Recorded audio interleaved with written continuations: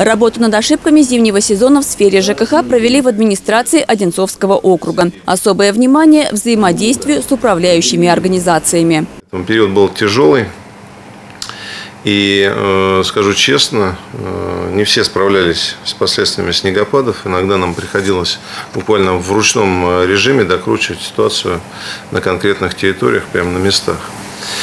Считаю, что сегодня самое время проанализировать эти узкие места в работе, определить алгоритмы наших э, дальнейших действий. За минувшую зиму с улиц и дворов было вывезено более 330 тысяч кубометров снега. Содержанием дворовых и общественных территорий в округе занимаются 12 муниципальных учреждений, которые приводят в порядок свыше 6 миллионов квадратных метров площади. Чтобы справиться с поставленными задачами, этой зимой пришлось дополнительно арендовать 39 единиц техники. Очень много большая территория.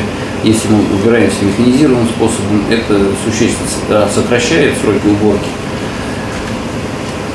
и, соответственно, помогает нам. Ну, есть, есть также территории, где только ручной труд может, быть применим, но, тем не менее, есть норматив на технику. Среди проблем – нехватка мест для складирования снега, на сегодня в округе организовано 5 снегобаз и необходимость обустройства производственной базы для обслуживания и ремонта техники. Для решения этой задачи глава муниципалитета поручил разработать соответствующие программы, рассчитанные на три года. Что касается обязанностей управляющих организаций по содержанию придомовых территорий, то здесь необходимо наладить контроль уборки тротуаров и работу в выходные дни, своевременно проводить ремонт асфальта и поддерживать обратную связь с жителями через домовые чаты и мессенджеры.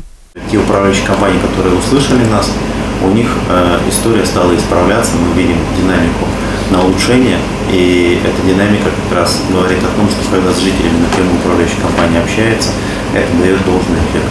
Но тем не менее есть еще над чем работать, и количество обращений в ЕДС, и количество обращений, которые из ЕДС попадают в добродел, еще достаточно высокое, особенно, повторюсь, по тем компаниям, которые имеют свои придомовые территории.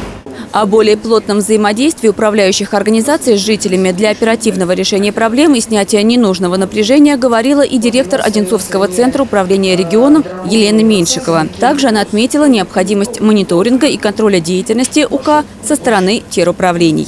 Все абсолютно МБУ и подрядные организации, как мы уже с вами в принципе, видим по итогам работы положительным, по положительной динамике готовы работать, но всем нужна все-таки твердая рука который будет контролировать.